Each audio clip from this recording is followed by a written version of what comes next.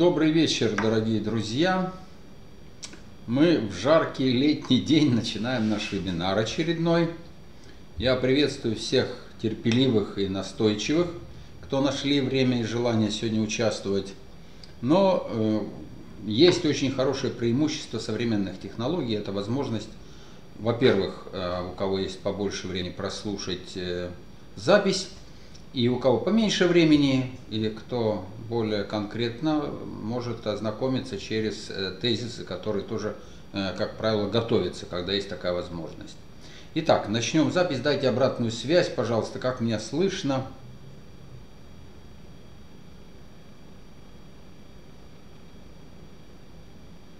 Да, скажу. Так, спасибо. Хорошо, тогда я даю запись, э, по-моему, уже да, спасибо, Олег. Э, сегодня на Мирополисе или Мирополисе мне помогает Олег Сошников. Спасибо, Олег, я заранее уже вас поблагодарю. Вот. И здесь, э, значит, мне целая команда помогает на других средствах масс-медии, по которой сегодня наша трансляция идет. Итак, есть вопрос, поступили вопросы, значит, прежде чем я смогу, смогу подойти, сейчас я зачитаю. Значит, э, подскажите, как обстоят дела с блокчейн направлением? Добрый вечер. А, всем. Так, хорошо. Значит, я э, имел удовольствие э, присутствовать в Париже на большом мероприятии в выходные дни. Это было день взятия Бастилии. Помните, как в фильме «Любовь и голуби», значит, дед говорит, что срывает листки календаря и говорит, что день Бастилии прошел даром. Вот так что у меня этот день не прошел даром, я очень много чего увидел. И на следующий день, воскресенье, как раз был чемпионат, эм, финальная игра чемпионата мира, это масса впечатлений. И в связи с этим мне возникли, возникли некоторые, некоторые ассоциации, о чем я вам пару слов и скажу. Это как, не, не как новость, а как э, мысль э, для размышления. А про блокчейн я вам скажу. Значит, смотрите, дорогие друзья, что, что интересно. Значит, я тут, сейчас одну минуточку, начать запись. Начал записи у вас, значит, и слайд-шоу. Есть, да? Об оттоке энергии, замене самореализации, участия в массовых мероприятиях. А потом перейдем, что нас может мотивировать и так далее, и в том числе про блокчейн будем говорить. Вы знаете, э, дело в том, что я еще раз убедился, мы там с знакомым с одним дискутировали немножко на эту тему, что вся, все массовые мероприятия, э, там просто был дурдом, это везде так, кстати. И э, посмотрел, статистика говорит, что 80-90% людей э, получают самореализацию или признание через действие или через, или через реальное признание. Что такое через действие получить признание? Признание через действие это когда я крутой, на крутом мотоцикле, на хреновеньком мотоцикле еду по Парижу, там, по Москве, по деревне Васюки, все равно где, и выкрикиваю какие-то лозунги, размахиваю флагом, значит, это самое, я реализуюсь. Потому что я не смог реализоваться, может быть, на работе. Заметьте, люди, которые реализуются на работе, им этого уже не нужно. Люди, которые реализуются в семье, им тоже этого зачастую не нужно. И, и это относится все к 80-90%. Но тут, ладно, реализуйся, Бога ради, но тут есть другой нюанс. Э, люди значит, отдают энергию, э, причем э, массу, массу энергии. И многие люди это осуществляют, это если, если мы перейдем от массовых мероприятий к взаимоотношениям, то начинают болтать какую-то, нести ахинею. Я возвращаюсь к нашему чату.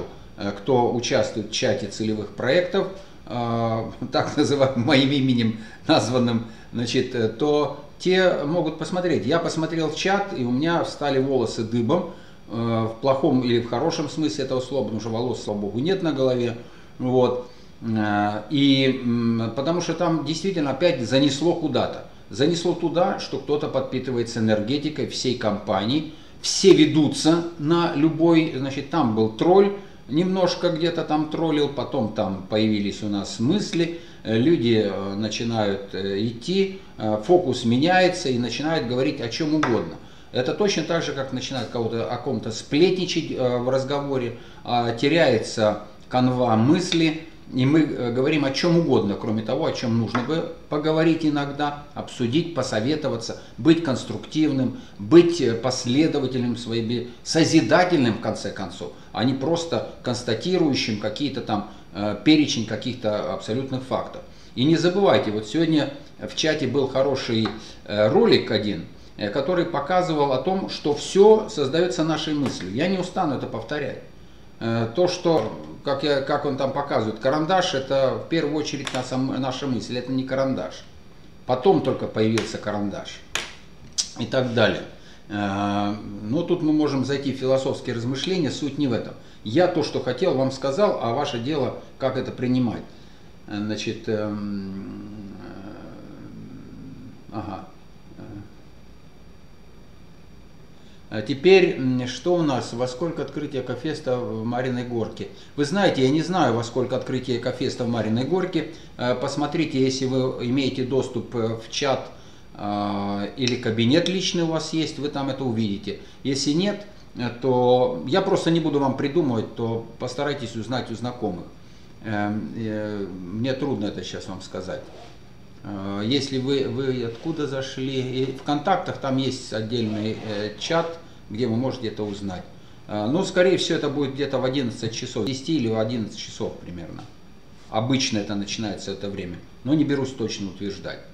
Теперь, что касается, пока не забыл, я пообещал, что дальше будет значит, с блокчейном, да, а, или в каком состоянии это находится. Разработка ведется, причем разработка ведется очень мощно.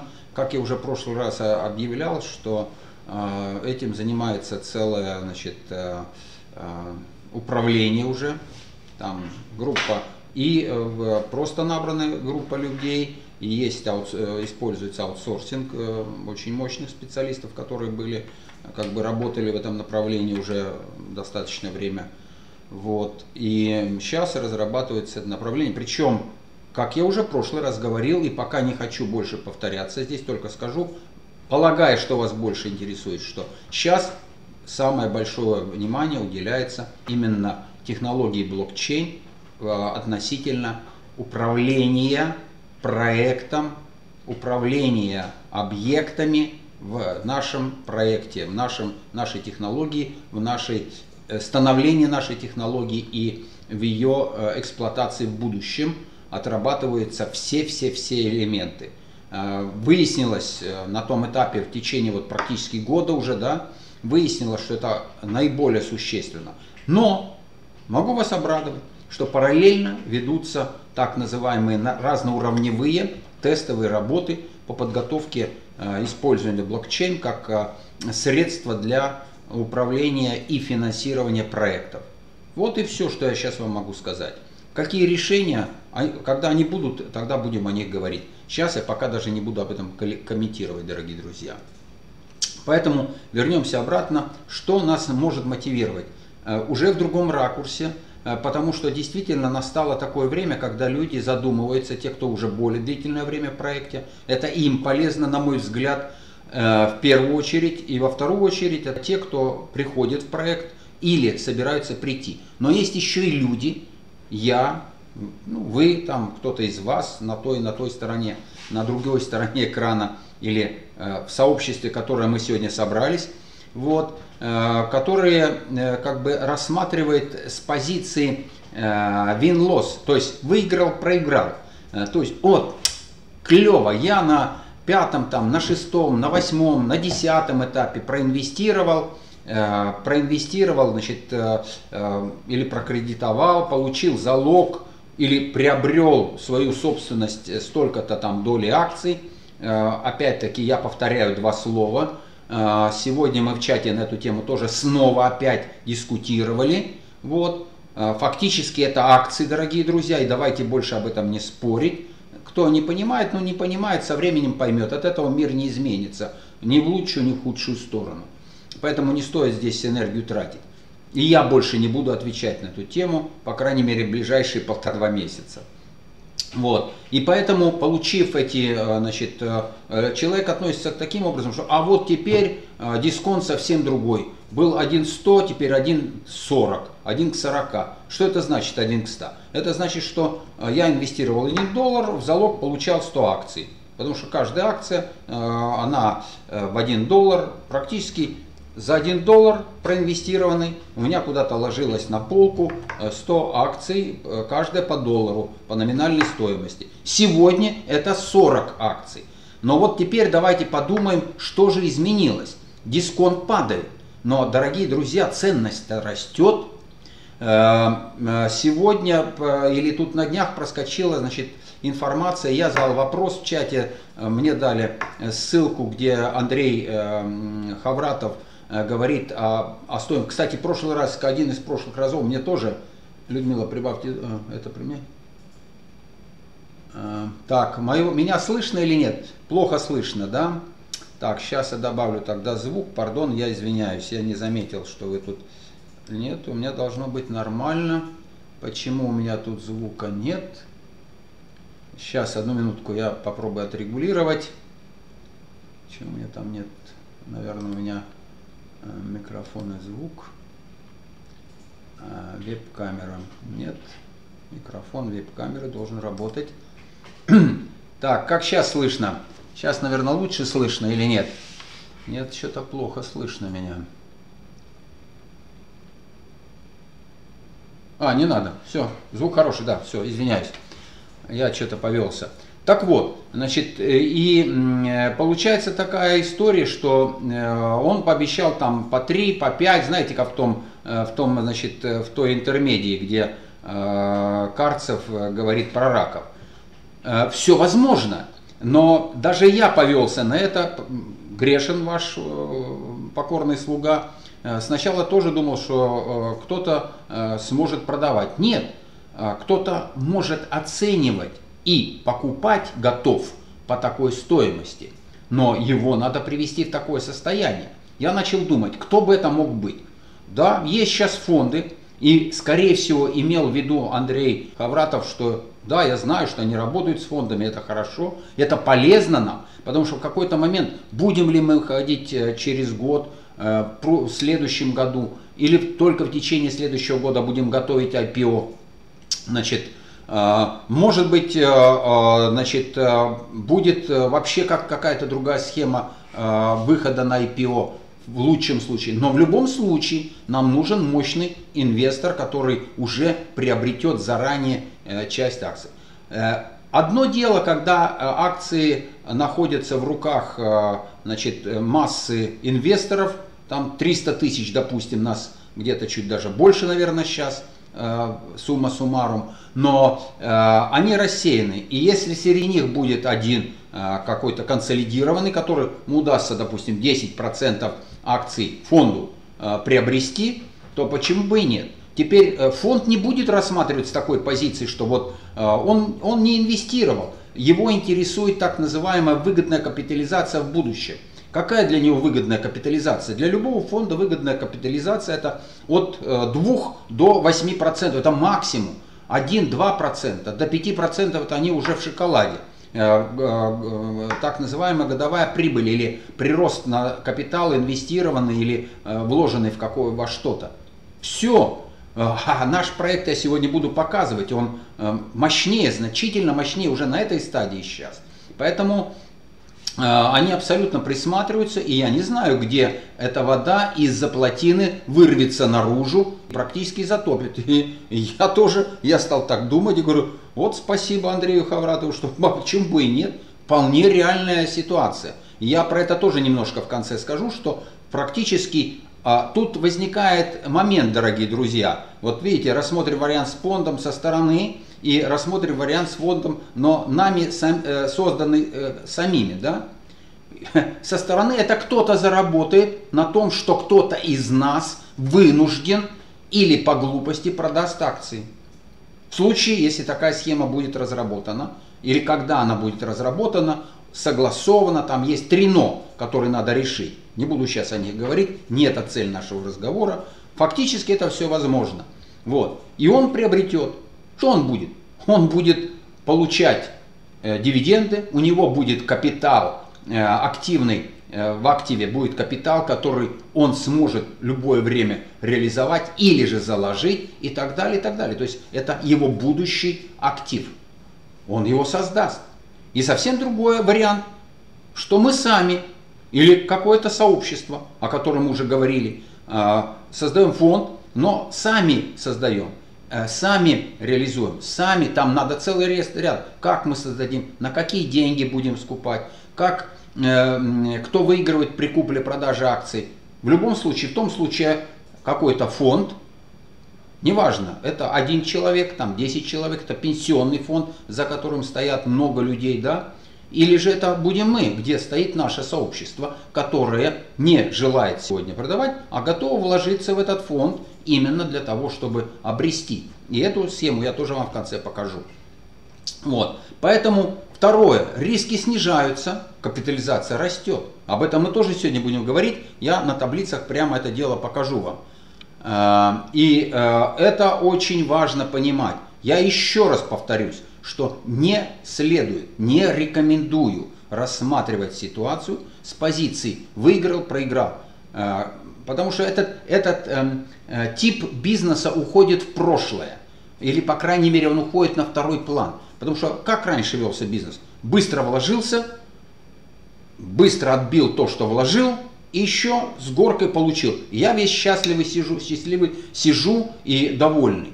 Все, дорогие друзья, э, мы знаем, чем это все кончалось, где кончалось и как кончалось. Это не то время, и наш бизнес к этому не относится. Он долгосрочный и очень, э, как бы, надежность его растет. Риски снижаются, и мы об этом говорили, капитализация растет. За счет чего? Капитализация в первую очередь растет за счет того, что средства, которые инвестируются, вкладываются в реальный капитал. Вот.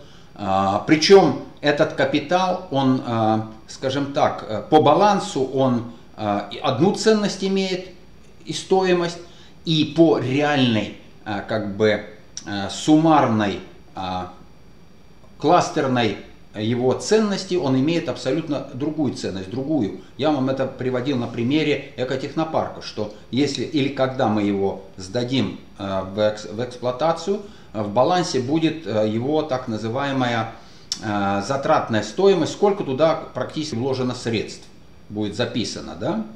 А с другой стороны, мы знаем, что если сравнительным анализом или сравнительным методом мы сравним с аналогичными экотехнопарками, то фактически где-то будет вложено до 200 миллионов э, долларов да, стоимость экотехнопарка при завершении высокоскоростной трассы, причем неважно, где она будет э, сделана, да, а проект так называемый, сам экотехнопарк, плюс высокоскоростная э, трасса, неважно, там, Белоруссии, там, в Австралии, там, эм, в Объединенных Арабских Эмиратах, в Индии, неважно где. Но она будет, она является частью, неотъемлемой частью проекта, вот, и она тоже будет оцениваться, и этот такой экотехнопарк или такой проект, его э, так называемая реализационная стоимость сравнительная, она э, колеблется в порядке не ниже миллиарда 250 миллионов примерно. Это практически в 6-7 раз выше, чем реальные затраты. Разве это не капитализация? Это мощнейшая капитализация. Неважно, что она расчетная. Вот. Э, и так далее. То есть есть э, целый ряд других моментов. А, и капитализация растет, и даже то, что есть фонды, которые желают, или же а, отдельные инвесторы, которые желают. Есть инвестор, который готов 50 миллионов вложить, но никто ему не отдает, потому что он хочет получить определенный пакет акций, скорее всего, да, и говорит, что я его связываю вот конкретно с этой частью. А что мы тогда будем делать? С этим, э, с высокоскоростным транспортом. Мы же тоже хотим с этого зарабатывать. Поэтому здесь не все так просто под сиянием лунным, дорогие друзья. И, э, э, значит, э, еще я бы хотел сейчас поговорить с вами об э, условная и, или реальной возможности реализации акций.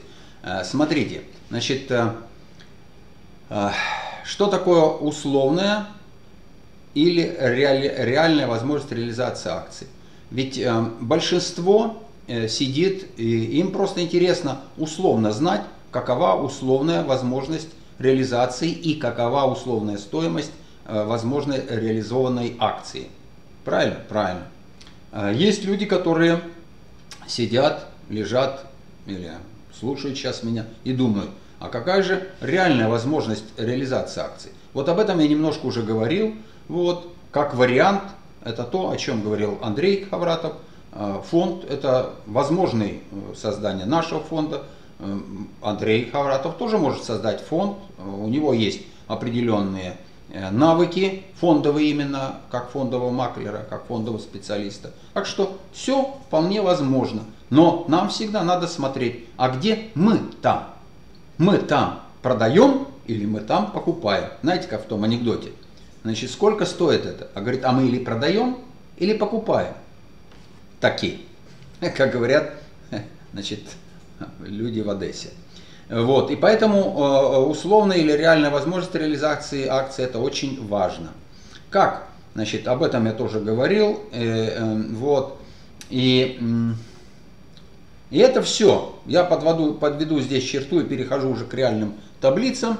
Это все говорит о том, что наши акции кому-то, кому-то, кому-то через черточку очень интересны. И по стоимости скупки 3-5 долларов США. Теперь к реальным цифрам в наших условиях.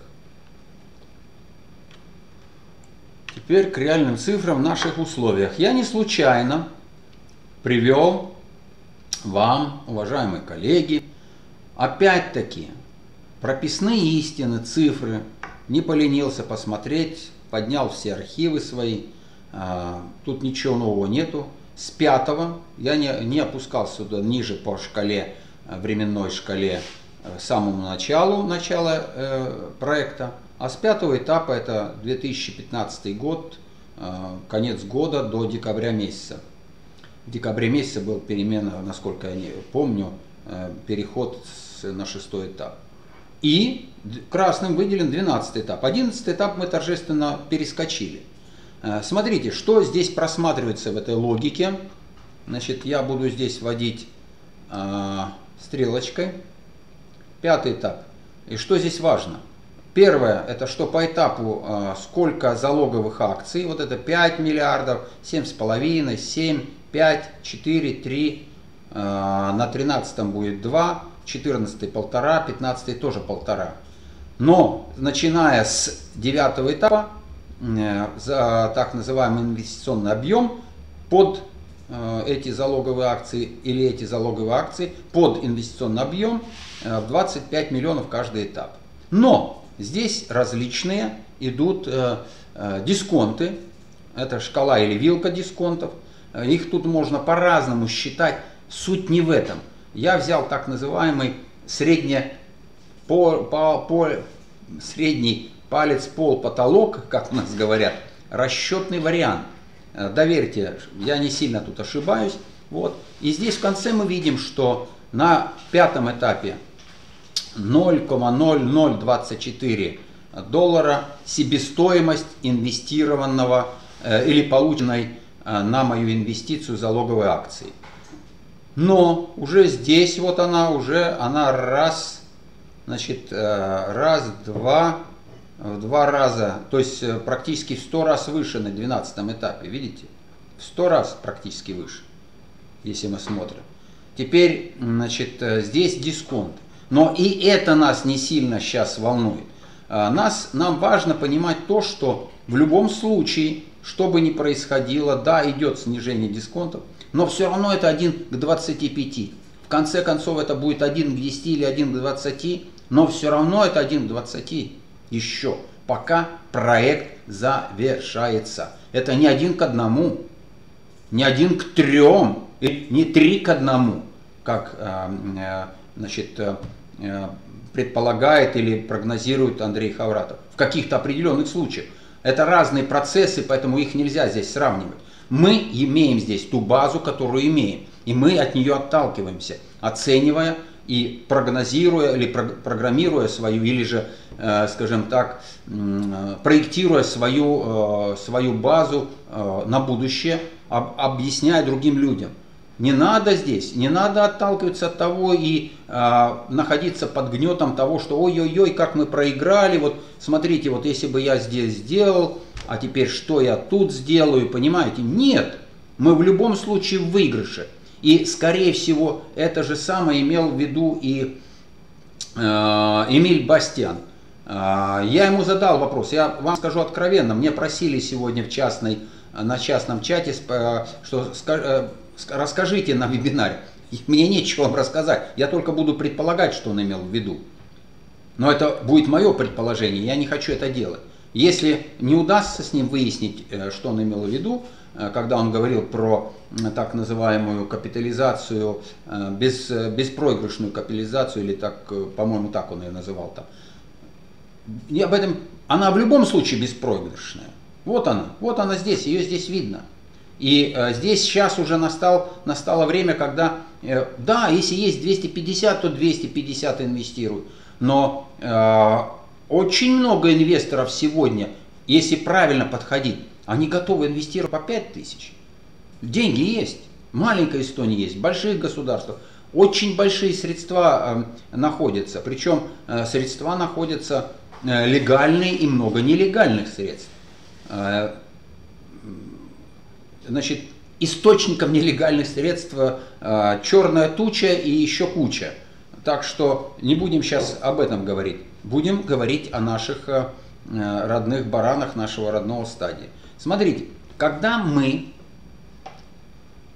инвестируем в скобках и никому не говорите, покупаем по залоговой стоимости, в конечном-то итоге, мы тут, я уже говорил, что с юристами крутили-крутили, э, значит, анализировали, анализировали, э, две, две стороны, одни были против, другие за, как бы одни как бы представляли финансовую инспекцию, другие представляли нас, инвесторов, которые плавают в, серой, э, в сером таком варианте, э, то в конечном итоге те и другие пришли к выводу, что называй ты как хочешь, да, в конечном итоге все равно приобретение является так называемым конечным результатом, неважно, а он во времени отнесен куда-то дальше или не отнесен. Сегодня мы положили на полку, и мы сегодня продать не можем. Я все время вам говорил, что да, это не купля, это не продажа. Юристы сказали, что это купля-продажа. Неважно что, потому что в конечном итоге когда-то они могут быть проданы. Когда будет IPO, когда мы выйдем на биржу.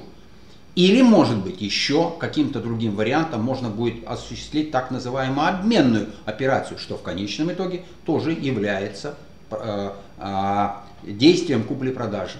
Поэтому это заложим себе за ухо, но говорить надо правильно, и поэтому, чтобы вас за слово не ловили. И теперь смотрите, мы инвестируем по залоговой стоимости. Я привел, чтобы лучше понимать-то. Там не совсем хорошо, извиняюсь, я вам не показал. Значит, а теперь верну обратно. Что там, где я говорил вам э, о так называемой себестоимости, да, видите здесь себестоимость э, одной Э, одной акции, и вам здесь тоже я показывал себестоимость одной акции, то э, здесь э, несколько другая ситуация. Здесь я для сравнения привел таблицу, где везде привел к 1200 акциям стоимость. Да? При, на пятом этапе взял дисконт такой хороший, жирный дисконт 1 к 600, на шестое, седьмое я не трогал. Э, там разница небольшая, идет такое мелкий, э, мелкое снижение. Э, здесь снижение, здесь идет рост, как видите. Да? Слева снижение дисконтов, рост этапов. Справа идет рост залоговой стоимости акций. Да? И все приведено к 1200 акциям. Вот. Поэтому уже на пятом этапе 1200 акций Э, на это затрачивалось 2000 э, долларов. 1500 акций, 2000 с половиной акций, чтобы э, вы могли разобраться, потому что такого пакета не было. Вот. 2000 акций. Но извините, на 12 этапе на это надо почти 20 тысяч, то есть 10 раз разница. Слушайте, не это ли является капитализацией? Капитализация идет. О каком риске мы здесь сильно говорим? Временной только риск. А, мы собирались быть на, 19, на 12 этапе в прошлом году в начале, мы на 12 этапе были в этом году, извиняюсь, во второй половине прошлого года, мы были э, в апреле месяце этого года перешли на 12 этап, минув 11 этап, и на то были причины. И вот здесь мы видим очень хорошо, как меняется, э, как меняется э, так называемая залоговая стоимость. Но хорошо, кому-то кто-то скажет, ну да, действительно меняется, да, но это меня устроило бы, когда я смог бы э, купить, продать это дело. Сможете. И это говорит, это определяет базу, на которой мы находимся. Это очень важно понимать. Вот. Э, поэтому, смотрите, переходим к следующему слайду. И здесь есть некий расчет, который я уже неоднократно использовал. Сейчас я его привел еще раз. Э, смотрите, что происходит. Если мы возьмем, э, например, что э, даже не будем 8-9 этап брать, возьмем 10 этап, за 100 акций или 100 тысяч акций можно приобрести было за 742 доллара. Условно говоря, инвестиции, через инвестиции, да, положить себе на полку в акционерном обществе. Здесь были приведены цифры так называемой возможной покупки, потому что речь тогда шла о том, что а если вдруг начнет компания скупать, я даже говорил о том, что э, это было бы выгодно компании, но это была бы пирамида. Поэтому мы об этом сейчас не говорим и об этом сейчас не смотрим. Вот. Э, мы смотрим 11 этап, который мы перескочили. Вот смотрите, при переходе с 10, начнем с 10 этапа. При переходе с 10 этапа на 11 этап, и речь шла тогда о 6 месяцах, 100 э, э, тысяч акций можно было э, приобрести за 1300 долларов, или скажем так, 1300 долларов была их стоимость. Теперь смотрите, на 10 этапе это было 742. Какая разница или какой прирост, какова капитализация в процентах? 175% в целом, 175,2% на каждый месяц, 6 месяцев было там разница, да, э, мы рассматривали, э, но мы перескочили на 12 этап, и при этом э, было бы 29,2% в месяц прирост. 29,2 в месяц, дорогие друзья. Не в год 2%, а в месяц. Да, вы скажете, это все на бумаге. Да, но это привлекательно, дорогие друзья. Это очень привлекательно. И поэтому это очень существенно. И теперь, если мы посмотрим, если мы посмотрим дальше, что э, ваша инвестиция кредит, сделанная в 2017 на 9-10 дала прибыль 23% в месяц, был такой расчет, я его сейчас не показывал, чтобы не мутить э, много, э, мельтешить тут цифрами, то э, это было 23,5 в месяц. Э, ваша инвестиция кредит, сделанная в 2017 при переходе э, с 10 на 11 предполагала, да, было бы 29,2%, а фактически это вылилось в, значит, вперед. Это, э, этот, кстати, период 10 и так называемого предполагаемого перехода на 11 этап до апреля месяца. Там было 6 месяцев. И за этот период ежемесячно 29,2%. Мы перешли фактически с 10 на 12 и на 12, здесь неправильно написано у меня, это скорее всего так называемый 10-12, 10 закончился в апреле, сегодня у нас значит, май, июнь, июль, 3 месяца прошло. А, если это будет еще август-сентябрь, то есть после Экофеста, то так называемая прибыль ежемесячная а, будет 36, даже больше там она будет, 40 с чем-то. А если мы посмотрим, смотрите, э, здесь у нас 218, если на 4 разделить, то это будет 50, э, больше 50%, если 4 месяца, если 5, 40%. Я взял так называемые 6 месяцев, получилось 36,3%. И если 3%, все может быть, я не исключаю. Это значит на Экофесте. После Экофеста мы получаем некую информацию. Это значит 72,3%. То есть вот коридор, в котором мы имеем так называемый э, желаемый и реальный расчетный э, прибыль прирост. Но найдите мне такой проект сегодня где-нибудь, хотя бы даже расчетный. Хотя, да, расчетный до момента начала строительства, до момента начала э, значит, э, инвестиций, это реально можно найти, я даже еще получше проекты находил. Вот. Но уже действующий проект, который не первый год э, действует, это очень непросто. И поэтому я полагаю, я абсолютно присоединяюсь, хотя и мое присоединение ему не очень сильно нужно, Э, к логике, которую излагал э, в ролике Андрей Хавратов.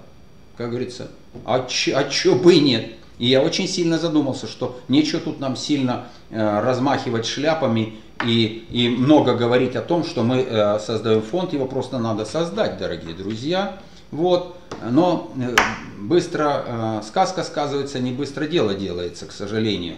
Можно отговорку всегда найти. Э, даже при том, когда ты э, пашешь или когда вы пашете. Э, так, значит, смотрите, что здесь я на завершение. Я, у нас в Эстонии наступило в конце концов, за последние годы мощное лето, и сейчас на улице где-то порядка 32 градусов или 30-32 градусов жара. Вот. В помещении это еще усиливается, потому что воздух тут не сильно, вентиляция работает, но не сильно действует. Вот. Поэтому я сейчас скоро буду заканчивать. Но тем не менее, в завершение на закуску я хочу вам показать, что, смотрите, две вещи. Был вопрос, э, так и что вы считаете, какая же это прибыль, если акции мы не можем...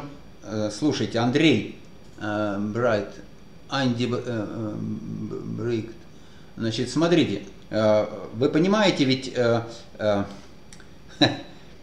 вы не слышали, когда вначале говорил. Логика, которой вы действуете, это то, что я вчера инвестировал, сегодня я продал. Но вы в бизнесе следите за бизнесом. Если вы в компании или у вас компания, и вы как за ней следите? Вы что, продаете компанию и рассчитываете прибыль, что ли? Нет. Вы смотрите, как идет динамика процесса. И вы оцениваете, вы анализируете, Андрей или Анди. Понимаете? Я никого не ввожу в заблуждение. Вы себя вводите в заблуждение. Если вы ждете завтра э, больших прибылей, то вы не, сюда, не туда пришли. Прибыли будут, э, прибыль будет, и она есть, но она будет реально тогда, когда настанет время. Его надо ждать. Э, а, а, а миллион двести акций, а, а, миллион двести акций, миллион двести тысяч там той таблицы. Видите? Сейчас я вернусь обратно. Видите? Здесь миллион двести тысяч акций. Я нигде не говорил, что 1200 акций. Здесь я привел пример, чтобы лучше понять, на 100 акциях цифры проще, понимаете? На 100 тысячах, извиняюсь, акций. Одиннадцатый этап я просто пересчитал, сколько 100 тысяч в том и в том и в том случае стоит. Понятно, да? Здесь в этом случае 100 тысяч акций 1619, в этом случае 1300. Понятно. Отсюда все эти расчеты. И привел, где на десятом этапе они стоили 100 тысяч акций, стоили 742, условно говоря. И я вам тоже тогда покажу, поскольку там возникла у нас дискуссия, дорогие друзья, то и я здесь в Мирополисе тоже покажу. Дискуссия возникла здесь, о чем мы говорим, что 1200 акциях, мы говорим о, 100, о миллионе 200 тысяч акций, чтобы привели к одному пониманию, да? Здесь мы говорим с вами о 100 тысячах акций. Я их привел расчет на 100 тысяч акций, вот эти же самые, миллион двести, пересчитал на 100 тысяч. Получилось, что их стоимость такая, это чтобы большими цифрами здесь не размахивать.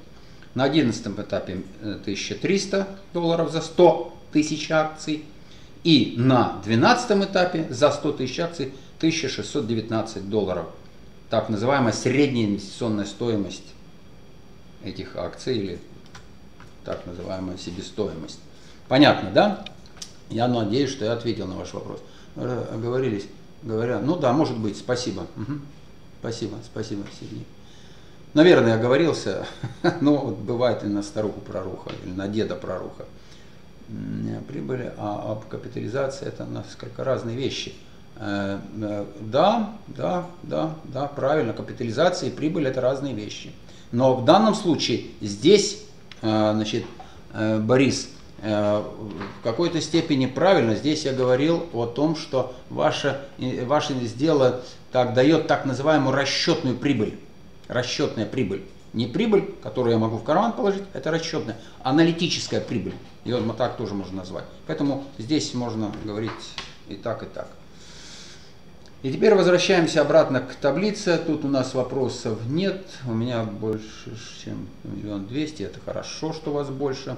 Вот, смотрите. И что получается у нас, значит, здесь я тоже сейчас выведу. Э, получается такая, такая штука, что нам, с одной стороны, мы готовим пилотные адресные проекты, мы готовим размещение. Центра как такового, это 2-3 человека пока есть Э, базовая структура, которую мы создаем. Пока это все capital, в капитале люди, которых мы ну, как бы добровольно, бесплатно привлекаем, им интересно, сами участвуем в этом. Э, помимо того, что мы повседневно делаем э, работу необходимую для того, чтобы площадка работала, да, вот, это будущий создаваемый, это мы прорабатываем прообраз центра адресных ICO или адресных финансовых операций согласовывая GTI с головным, э, головной компанией, которая разрабатывает платформу 3D Experience. Вот, как я уже говорил, на что она на, на, распла, ну, как бы направлена. Поэтому размещение мы согласовываем и делаем пилотные проекты, э, чтобы э, на них отработать механизм. Но Центр народного финансирования или фонд, здесь можно просто поставить фонд, целесообразно ему создать банк, я его назвал банк акций, э, в который можно просто начинать, благодаря значит, сотрудничеству с Центром кооперации инвесторов. Что это значит? Как его можно создать? Очень просто, как один из вариантов, просто скинуться, мягко говоря, да, создать компанию, скинуться и договориться, что начинать создать определенную компанию, которая получит разрешение у GTI на определенное какое-то количество определенной скупки акций. Или же использовать и э, средства инвесторов, и э, средства, получаемые э, за счет прибыли э, адресных проектов, вот, создать средства, которые, значит, но это достаточно непростой процесс, э, но средств можно собрать за счет прибыли, уже так называемой, э, от размещения, можно такую сумму направить, потому что она все равно вернется сюда в адресный проект вот, в какой-то момент. А здесь образуется уже наша совместная акция. То есть, будучи просто акционерами, можно быть еще и пайщиком, но это не совсем пайщик, а участников вот этой акции. Запустить процесс, кто-то, кто хочет, продаст свои акции, но уже вот эта организация будет владельцем этих акций, и заменит, заменит что? Заменит вот этот фонд, который сегодня уже сидит и мечтает э, тоже как бы поучаствовать в этом деле. И это сравнится или э, сродни тому, о чем мы уже говорили. Э, это когда, знаете, вот выстраивается новый жилой район, люди приезжают, что им нужно? В первую очередь нужно ходить в магазин, какие-то Э, бытовые услуги оказывать и так далее. И что делается? Сразу же находятся люди, кучка людей, которые срочно строят там большой торговый центр с услугами и так далее, и так далее. И кто это оплачивает? Не прямо, а косвенно. Те, кто потом будут ходить в этот магазин, принимать там услуги, потому что там арендовать будут, аренду будут платить и так далее. Но получать все за это будут те, кто 3, 5, 10 человек, а может быть 2, а может быть 1, проинвестировали, построили и имеют это дело.